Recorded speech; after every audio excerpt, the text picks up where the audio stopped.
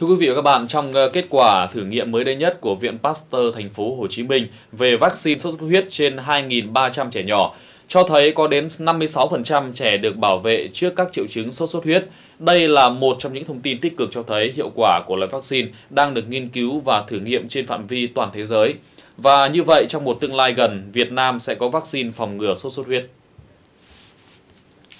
Tại khoa sốt xuất huyết bệnh viện Nhi đồng 1 thành phố Hồ Chí Minh, đều đặn mỗi ngày có khoảng 50 trẻ nhỏ điều trị nội trú, tập trung nhiều là trẻ nhỏ dưới 10 tuổi. Với mỗi bệnh nhân bị sốt xuất huyết, điều trị mất khá nhiều thời gian và luôn được theo dõi để đề phòng biến chứng nguy hiểm. Việc điều trị cho bệnh nhân sốt huyết thật sự là một cái thử thách rất là lớn cho bác sĩ nhi khoa cũng như bác sĩ à, nội khoa nói chung vì à, mỗi một trường hợp sốt huyết đều có thể diễn tiến rất là khác nhau hướng dẫn cho người nhà cách chăm sóc theo dõi những dấu hiệu nặng để giúp nhân viên y tế phát hiện kịp thời những trường hợp diễn biến nặng để điều trị kịp thời tránh để những biến chứng nặng có thể dẫn đến nguy hiểm cho bệnh nhân. Từ đầu năm đến nay, đã có trên 5.000 ca điều trị nội trú. Mặc dù việc phòng chống được triển khai rộng rãi, nhưng ngành y tế luôn trong tình trạng loay hoay, chạy theo dịch suốt thời gian qua. Nhiều chuyên gia y tế cho rằng, vaccine sốt xuất huyết sẽ là phương án giảm nhẹ gánh nặng bệnh tật tại Việt Nam. Ngay từ tháng 11 năm 2013, một nghiên cứu thử nghiệm vaccine do Viện Pasteur Thành phố Hồ Chí Minh thực hiện được tiến hành trên 2.300 trẻ tại Việt Nam. Kết quả mới công bố cho thấy 56,5% trẻ em tham gia tiêm vaccine được bảo vệ khỏi các triệu chứng sốt xuất huyết. Đây là một tín hiệu tích cực cho thấy hiệu quả của loại vaccine nghiên cứu trong gần 20 năm qua. Ờ, hiện nay thì ờ, sốt xuất huyết đang là một gánh nặng bệnh tật rất lớn ở trên thế giới và cũng như là ở tại Việt Nam. Và cái việc phòng bệnh hiện nay ấy là cũng đang rất khó khăn. À, chúng ta chưa có vaccine thì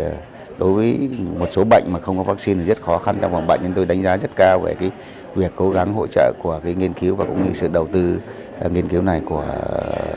uh, công ty của hãng vaccine Sanofi. Cho đến hiện giờ thì đây là cái vaccine duy nhất đã có đầy đủ cái số liệu về tính an toàn và tính hiệu quả của vaccine. À, tức là nó đã hoàn thành được cái nghiên cứu ở giai đoạn 3. Cái giai đoạn 3 theo như quy định là cái giai đoạn buộc phải trải qua trước khi mà đăng ký lưu hành à, vaccine. Theo đại diện công ty Sanofi Pasteur, đơn vị nghiên cứu vaccine sốt xuất huyết, việc thử nghiệm đã được thực hiện tại nhiều khu vực trên thế giới với những nhóm độ tuổi khác nhau. Tại năm quốc gia châu Á, trong đó có Việt Nam, tỷ lệ phòng ngừa bệnh là 56,5%. Tại châu Mỹ Latin, tỷ lệ ghi nhận là 60,8%.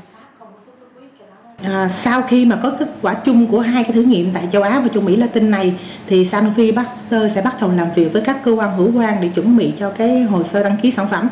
Thì cái việc cho phép lưu hành sản phẩm nó sẽ hoàn toàn phụ thuộc vào cái quyết định của Bộ Y tế của từng nước tùy thuộc vào cái tình hình dịch tễ của nước đó tùy thuộc vào cái gánh nặng bệnh tật tùy thuộc vào cái mục tiêu phòng chống sốt xuất huyết thì Việt Nam mình cũng không nằm trong cái ngoại lệ do đó mà cùng với các nước trong khu vực thì trong năm tới thì à, chúng tôi sẽ chuẩn bị cái hồ sơ đăng ký và sẽ bắt đầu đệ trình lên Bộ Y tế để xin xem xét.